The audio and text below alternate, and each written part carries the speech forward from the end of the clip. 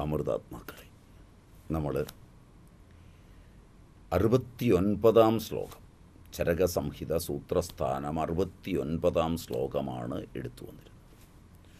രോഗങ്ങളുടെ വാതജം പിത്തജം കഫജം എങ്ങ എന്നിങ്ങനെയുള്ള മൂന്ന് വിധമായ വിഭജനത്തിനുമേൽ അവയിൽ ചില ഔഷധങ്ങൾ ഒന്നിലധികം ദോഷങ്ങളെ വർദ്ധിപ്പിക്കുന്നതാണ്. ചില ഔഷധങ്ങൾ ഒരു ദോഷത്തെ മാത്രം കുറയ്ക്കുകയും മറ്റുള്ളവയെ വർദ്ധിപ്പിക്കുകയും ആണ് ചെയ്യുന്നത്.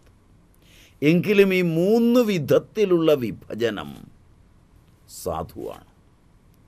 ഒരു വീക്ഷണം ഇതാണ്. ഔഷധങ്ങളുടെ വിശേഷ ഗുണത്തെ ആസ്പദമാക്കിയാണ്. അല്ലാതെ ഔഷധദ്രവ്യങ്ങളുടെ രസത്തെ മാത്രം ആസ്പദമാക്കിയുള്ള പ്രവർത്തനം വച്ചല്ല. ഇത് കാണേണ്ടതെന്നാണ്. ഇങ്ങനൊരു വീക്ഷണമുണ്ട്. അതായത് ഔഷധങ്ങളുടെ വിശേഷ ഗുണം അത് വെച്ചുകൊണ്ട് ആണ് ചികിത്സാ നിർദ്ദേശം.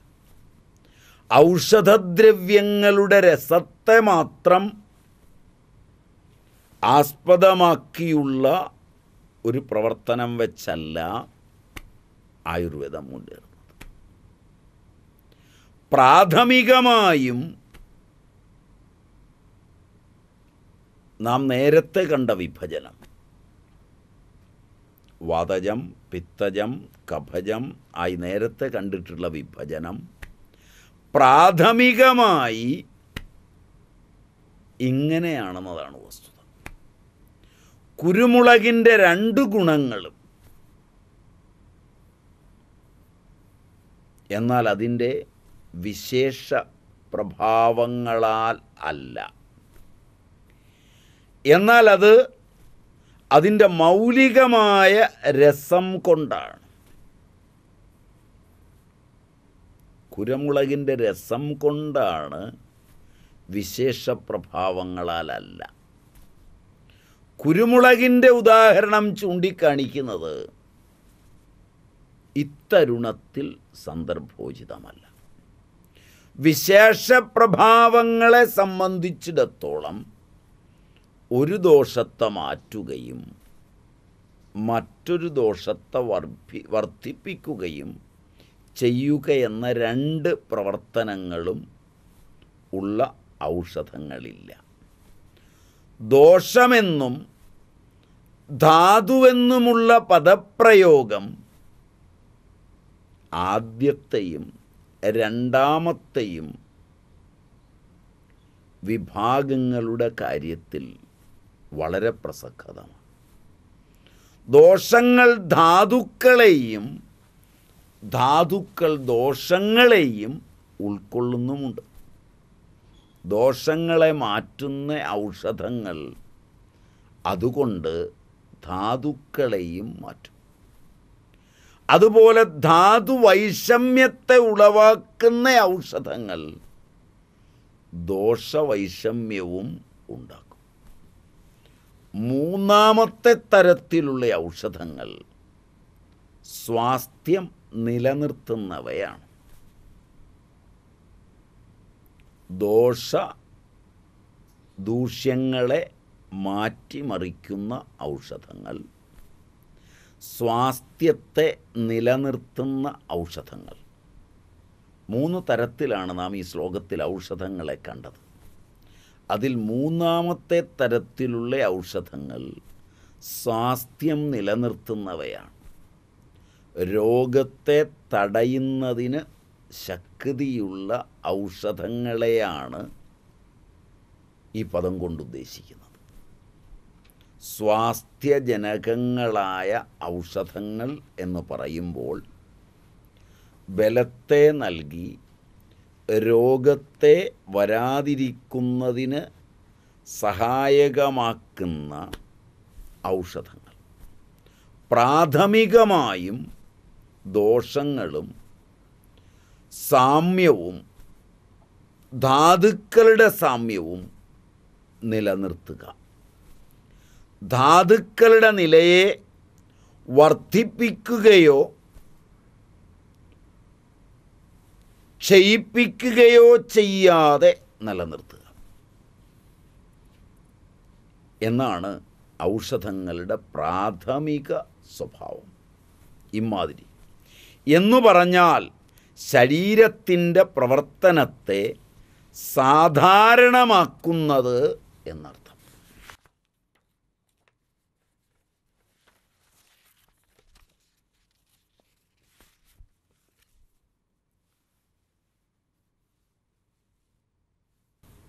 അടുത്ത ശ്ലോകം നമുക്ക് നോക്കാം. തത് പുനസ്ത്രിവിധം പ്രോക്തം ജംഗമൗദ്ഭിതപാർത്ഥിവം മധൂനിഗോരസാപിത്തം വസാമജ്ജാസൃഗാമിഷം വിൺമൂത്രചർമ്മരേതോസ്തി സ്നായുശൃംഖനഖാകുരാ. ജംഗമേഭ്യ പ്രയുജ്യന്തെ കേശാലോമാനിരോചനാ സുവർണേ സമലാലോഹ. സസികതാസുധ മനശില മനശിലാലെ മണയോ. ലവണം ഗൗരി കഞ്ചനെ. ഭൗമൗഷധമു ഔ ഭൗമൗഷധമുദ്ദിമൗദ്ഭി ഇതം തു ചതുർവിധം നാല് വിധത്തിൽ ഔഷധികളെ തിരിക്കുന്നതിനെയാണ് ഇവിടെ ആദ്യം പറയുന്നത്. തത്പുന വീണ്ടും ത്രിവിധം പ്രോക്തം. മൂന്ന് വിധത്തിൽ ആദ്യം തിരിക്കും. ജംഗമം ഔദ്ഭിതം പാർത്ഥിവം. ജംഗമ ഔഷധങ്ങൾ ഔദ്ഭിദ ഔഷധങ്ങൾ പാർത്ഥിവ ഔഷധങ്ങൾ. തത് പുനസ്ത്രിവിധം പ്രോക്തം ജംഗമൗദ്ഭിത പാർത്ഥിവം മധൂനി ഘോരസാപിത്തം വസാമജ്ജാസൃഗാമിഷം വിൺമൂത്രചർമ്മരേതോസ്തി സ്നായുശൃംഗനഖാകുരാഹ അത് ഒരു കൂട്ടം. ജംഗമേഭ്യ പ്രയുജ്യന്തേ കേശാലോമാനിരോചനാ സുവർണേ സമലാലോഹ സസികഥാസുധ മനശിലാലേ മണയോ ലവണം ഗൗരികഞ്ചനെ ഭൗമമൗഷധം ഉദ്ദിമൗദ്ഭിദം തു ചതുർവിധം. വീണ്ടും നാല് തരം. വനസ്പതിസ്തഥാ വീരുദ്വാനസ്പത്യ സ്തധൗഷധി വനസ്പതി തഥാ വീരുദ്വ വനസ്പത് വാനസ്പത്യ തഥ ഔഷധി. ഔഷധ്യഫലപാകന്ത പ്രധാനൈർവിരുധ സ്മൃത മൂലത്വക്സാരനിത്യാസ നിര്യാസ നാലസ്വരസപല്ലവാഹ ക്ഷാരാക്ഷീരം ഫലം പുഷ്പം ഭസ്മതൈലാനി കണ്ടകാഹ യത്രാണി ശുങ്കാ കന്ദാക കന്ദാശ്ച പ്രരോഹാശ്ചൗദ്ഭിദേ ഗണ അപ്പോൾ ആദ്യം മൂന്നായിട്ട് പിന്നെ നാലായിട്ട് ഒക്കെ ഇതിനെ തിരിച്ചിട്ടുണ്ട് ഔഷധങ്ങളെ. ഔഷധങ്ങളുടെ വർഗീകരണം അനേകം അനേകം നൂറ്റാണ്ടുകൾക്ക് മുമ്പ് ഭാരതീയ മനീഷകൾ ഔഷധങ്ങളെ തിരിച്ചിരിക്കുന്ന രീതി. നമ്മൾ ആദ്യം രോഗമുണ്ടാക്കാതെ ബലത്തെ തന്ന് രക്ഷിക്കുന്നവ. വാദവിത്ത കഭങ്ങളെയെല്ലാം ഇല്ലാതാക്കുന്ന ക്ഷയിപ്പിക്കുന്നതാ. ഇങ്ങനെയൊക്കെ നമ്മൾ ഔഷധങ്ങളെ ആദ്യം തിരിച്ചു. അതുതന്നെ തത് പുനഃ ത്രിവിധം പ്രോക്തം ജംഗമം ഔദ്ഭിതം പാർത്ഥിവം. തത് പുനസ്ത്രിവിധം പ്രോക്തം ജംഗമൗദ്ഭിത പാർത്ഥിവം ഏതൊക്കെയാണത്? മധൂനി ഗോരസാപിത്തം വസാമജ്ജാസൃഗാമിഷം വിൺമുത്രചർമ്മരേതോസ്തി സ്നായുശൃംഗനഖാകുരാഹ ജംഗമേഭ്യ പ്രയുജ്യന്തേ കേശാലോമാനിരോചനാഹ. ഇവയെല്ലാം ജംഗമൌഷധങ്ങൾ. സുവർണേ സമലാലോഹ സസികഥാ സുധ. മനശിലാലേ മണയോ ലവണം ഗൗരി കഞ്ചനെ ഇവയൊക്കെ ഭൗമം. ഭൗമമൗഷധമുദ്ധി മൗദ്ഭി ഇതം തു ചതുർവിധം ഇവ നാല് വിധമാണ്. ഔദ്ഭിതം മനശില മണി ലവണം ഇവയൊക്കെ ഭൗമമാണ്. ഔഷധം ഉദ്ദിം ഔദ്ഭിതം തു ചതുർവിധം ഔദ്ഭിത ഔഷധങ്ങൾ നാല് വിധമാണ്. വനസ്പതിസ്തഥാവീരുധ്വാനസ്പത്യ അധൗഷധി ഫലൈർവനസ്പതി പുഷ്പൈർവാനസ്പത്യ ഫലൈരപി ഔഷധ്യഫലഭാഗന്താ പ്രധാനൈർവിരുധസ്മൃതാ മൂലത്വക്സാരനിര്യാസ. നാലസ്വരസപല്ലവാഹ. ക്ഷാരാ ക്ഷീരം ഫലം പുഷ്പം ഭസ്മതൈലാനി കണ്ടകാ. യത്രാണി ശുങ്കാ കന്ദശ്ച പ്രരോഹാശ്ചൗദ്ഭിദേ ഗണ തത്പുനഃ ജംഗമം ഔദ്ഭിദം പാർത്ഥിവം ഇതി ത്രിവിധം പ്രോക്തം. ആ ദ്രവ്യങ്ങൾ വീണ്ടും നമ്മൾ നേരത്തെ ചൂണ്ടിക്കാണിച്ച ഔഷധദ്രവ്യങ്ങൾ വീണ്ടും ജംഗമം ജാന്തവം ജന്തുക്കളിൽ നിന്നെടുക്കുന്നത്. ജാന്തവങ്ങളായ ഔഷധങ്ങൾ. ഔദ്ഭിതം സസ്യജങ്ങളായ ഔഷധങ്ങൾ. പാർത്ഥിവം ഭൗമം ഖനിജങ്ങളായ ഔഷധങ്ങൾ. ഇതി ത്രിവിധം പ്രോക്തം ഇങ്ങനെ മൂന്ന് തരത്തിൽ പറ- പറയപ്പെടുന്നു. തത്പുനഃ ജംഗമം ഔദ്ഭിദം പാർത്ഥിവമിതി ത്രിവിധം പ്രോക്തം. ഔഷധദ്രവ്യങ്ങളെ വീണ്ടും ജംഗമമെന്നും ജാന്തവമെന്നും ഔദ്ഭിതമെന്നും സസ്യജമെന്നും പാർത്ഥിവമെന്നും ഖനിജമെന്നും മൂന്ന് തരത്തിൽ പറയപ്പെടുന്നു. അതിൽ ജംഗമ ദ്രവ്യ സംഗ്രഹം ഏതൊക്കെയാണ് ജംഗമദ്രവ്യങ്ങൾ? ജാന്തവങ്ങൾ. മധൂനി ഗോരസാവിത്തം വസ മജ്ജ അസൃക് ആമിഷം വിൺമൂത്രചർമ്മരേത അസ്ഥിസ്നായുശൃംഗനഖാ ഖുരാഹ ഇതെല്ലാം ജംഗമ ഔഷധങ്ങൾ ജംഗമ ദ്രവ്യ സംഗ്രഹമാണ് പറയുന്നത്. എല്ലാ തരത്തിലുമുള്ള തേൻ. മധൂനി ചെറുതേൻ വൻതേൻ കോൽത്തേൻ ഇങ്ങനെ തേനിന്റെ വർഗങ്ങളെല്ലാം അത് ജീവികളിൽ നിന്ന് ലഭിക്കുന്നതാണ്. എല്ലാ തരത്തിലുമുള്ള മധു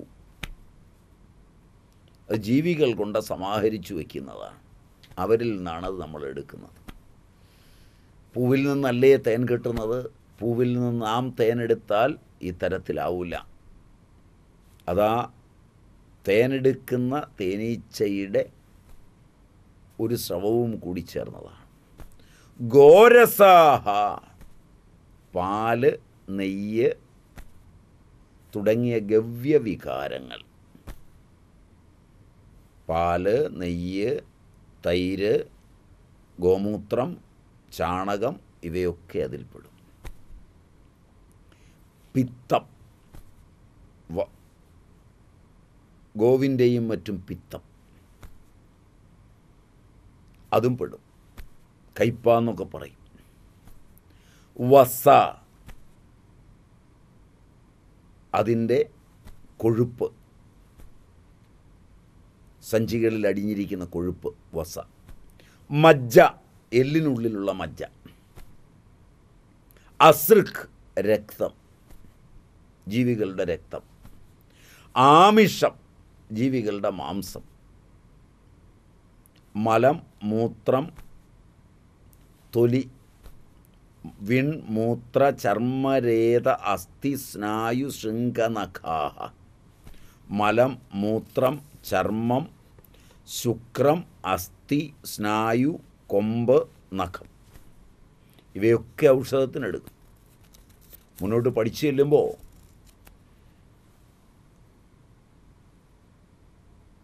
വളരെ ഭംഗിയായി ചരകൻ മുതലയുടെ ശുക്ലം വരെ ഔഷധത്തിൽ ഏതെല്ലാം വിധത്തിൽ ഉപയോഗിക്കും എന്ന് പറയും. എത്ര പ്രയോജനപ്രദമാണ്. അപ്പോൾ ജംഗമങ്ങളായ ഇവയെല്ലാം മലം മൂത്രം ചർമ്മം തൊലി ശുക്രം അസ്ഥി സ്നായു കൊമ്പ് നഖം. ഇവയെല്ലാം. കേശം മുടി. ലോമാനി രോമങ്ങൾ. മുടി രോമങ്ങൾ ദേഹത്തുള്ള രോമങ്ങൾ. രോചനാഹ ഗോരോചനം. ഇവയെല്ലാം ജംഗമേഭ്യ ജംഗമങ്ങളായ ജീവികളിൽ നിന്ന് പ്രയുജ്യന്തേ എടുത്തവയാകുന്നു. യോജിച്ച യോജിപ്പിച്ചവയാകുന്നു. ജീവികളോട് യോജിപ്പിച്ചവയാണ് ഈ പറഞ്ഞതല്ല. സുവർണേ സമല സസികത പഞ്ചലോഹാഹ സുധാ മനശില ആലേ മണയ ലവണം ഗൈരികം ഭൗമം ഔഷധമുദ്ദിഷ്ടം സുവർണേ സ്വർണം സമലാഹ മണ്ടൂരം അഥവാ ശിലാജിത്ത് സഹിതം സസികത വാലുകാസഹിതം പഞ്ചലോഹാഹ. വെള്ളി ചെമ്പ് കറുത്ത ഈയം വെളുത്ത ഈയം ഇരുമ്പ് സുധ ഗോതന്തി തുടങ്ങിയ പാർത്ഥിവ വിഷങ്ങൾ. മനശില മനയോല ആലേ ഹരിതാലം മണയഹ രത്നങ്ങൾ നവരത്നങ്ങളൊക്കെ പെടും. ലവണം ഉപ്പുവകകൾ എല്ലാ ഉപ്പും. ഗൈരികം അഞ്ജനങ്ങൾ കാവി സ്രോതോഞ്ജനം സൗവീരാഞ്ജനം തുടങ്ങിയവ. ഇവയൊക്കെ പാർത്ഥിവ ഔഷധങ്ങളാണ്. പാർത്ഥിവം ഔഷധം ഉദ്ദിഷ്ടം. ഇവയെ പാർത്ഥിവ ഔഷധങ്ങളെന്ന് പറയപ്പെടുന്നു. ജംഗമമെന്നാൽ ഗച്ഛതീതി ജംഗമം. സഞ്ചരിക്കാവുന്നത്. ഔദ്ഭിദമെന്നാൽ മണ്ണിൽ നിന്ന് വളർന്നു വരുന്നത്. വൃക്ഷങ്ങളും മറ്റും. ഉദാഹരണം പാർത്ഥിവമെന്നാൽ മൂതി ഭൂമിയിൽ നിന്നും കുഴിച്ചെടുക്കുന്നത്. അപ്പം ജംഗമം സഞ്ചരിക്കുന്നത് ഔദ്ഭിതം മണ്ണിൽ നിന്ന് വളർന്നു വരുന്നത് വൃക്ഷങ്ങളും മറ്റും ഉദാഹരണമാണ്. പാർത്ഥിവം എന്ന് പറയുമ്പോൾ ഭൂമിയിൽ നിന്ന് കുഴിച്ചെടുക്കുന്നത്.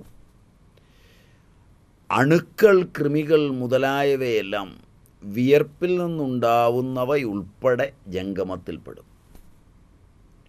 കോഴിമുട്ടയുടെ തോടും മറ്റും ഔദ്ഭിതത്തിലാണ് പെടുത്തിയിരിക്കുന്നത്.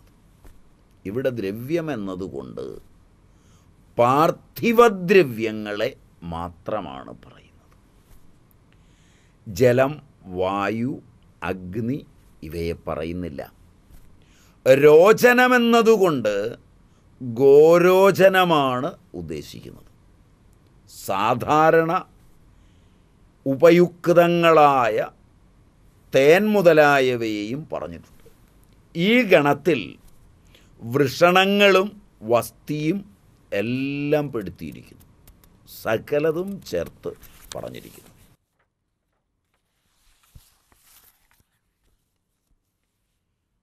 പഞ്ചലോഹങ്ങൾ.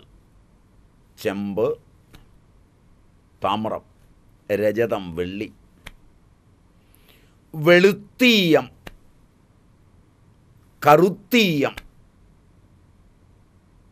കൃഷ്ണലോഹം ഇരുമ്പ് എന്നിവയും പറഞ്ഞിരിക്കുന്നു. മലം എന്നതുകൊണ്ട് ശിലാജിത്ത് ഉൾപ്പെടുത്തി. കന്മതം. സുശ്രുതൻ ആറ് തരമെന്നാണ് പറഞ്ഞിട്ടുള്ളത്. ഈ ഗ്രന്ഥത്തിൽ നാല് തരമാണ് പറഞ്ഞിരിക്കുന്നത്. ഇത് രസായന ചികിത്സയോട് ചേർത്താണ് പറഞ്ഞിട്ടുള്ളത്. ഇത് സുശ്രുതന്റെ ആശയത്തെ എതിർക്കുന്നുമില്ല. ശിലാജിത്ത് പാഷാണം പങ്കം എന്നിവയെ ഉദ്ദിഷ്ടപദം കൊണ്ട് സൂചിപ്പിക്കുന്നു. ഇപ്പം ശിലാജിത്ത് പാഷാണം പങ്കം. ഇവയെയാണ് ആ പദം കൊണ്ട് സൂചിപ്പിക്കുന്നത്. അതിനർത്ഥം ഉദ്ദേശോ അല്പകഥനം. സുധ എന്നാൽ ഗാംഗേയികം അലം എന്നതുകൊണ്ട് ഹരിതാലം. അഞ്ജനമെന്നതിനാൽ സൗവീരാഞ്ജനം. ഹാരീതന്റെ അഭിപ്രായം പോലെ